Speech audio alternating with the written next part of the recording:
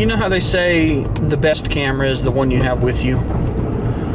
I don't know that that's always true. There is an argument to be made for buying better gear. I mean, let's face it, there's a reason that it's called better gear in the first place. It's better because it's better. You don't spend $10,000 on a DSLR and get a DSLR that outputs information equivalent to a $100 used point and shoot. So, while it is true that the best camera is the one you have with you or the one that you've already got, that needs to be tempered with the concept that just because better cameras exist doesn't mean that you need them, but it's not a bad idea if you have a very low grade camera to consider saving your money and spending a little more to get better quality.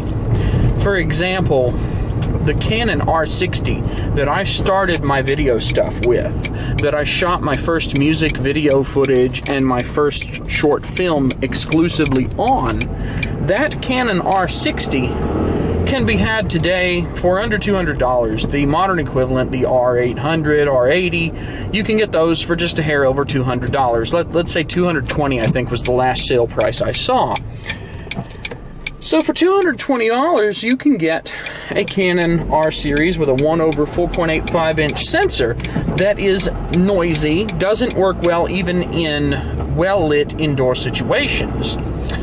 Or you can save your money up, spend five or six hundred dollars, depending on what the sale price is at the moment, on a Panasonic G7 DSLR, which has a micro four thirds sensor, 4K recording.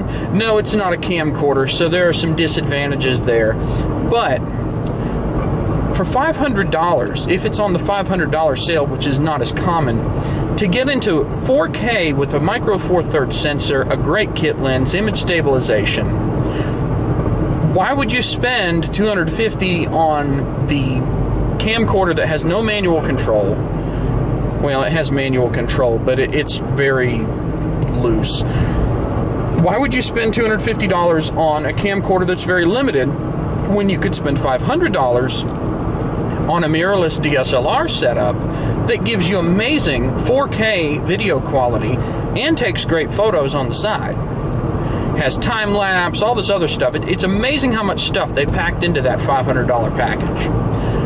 I don't think it's best to tell people that they should go out and buy a $200 camcorder when $500 would get them something that is actually production ish quality. I mean, for a low budget production, it makes all the difference in the world. So, before you go out and give the advice that you should spend very little on a camera, period, you're just starting out, don't spend a lot of money, consider that if they are serious about it, they may be better served by spending a little bit more on the camera. It may make sense for them to spend a little bit more on the camera. If they don't spend that little bit more on the camera, then they're going to have to repurchase that later. If they have the money, they should get a slightly better camera than what they might be looking at right now because they're just beginners or because you're advising them because they're beginners.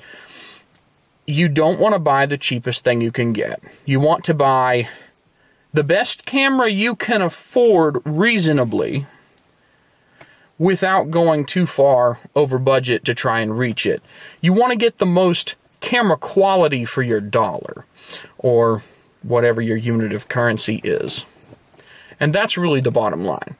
If I had to choose between my R60, my Canon T6i, which cost me about $800, maybe 700, and my G7 kit, which cost me 600, I would take the G7 definitely over the other two options, and I would not even think about it.